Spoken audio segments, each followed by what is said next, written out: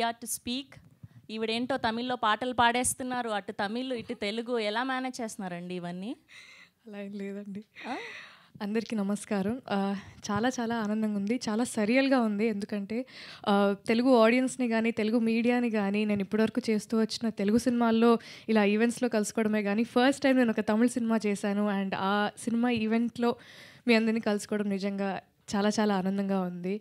And మా సినిమాని తెలుగు ఆడియన్స్కి nobody better than you both sir SKN garu Maruthi garu thank you thank you so much మీ చేతుల ద్వారా మా సినిమా తెలుగు ఆడియన్స్కి చేరడం అనేది it's a very very big thing for us thank you and I'd really like to thank Yuvaraj sir Magesh Raj sir Vyas and Mani garu thank you so much so మా cinema చాలా honest and it's a very honest and real film అండి.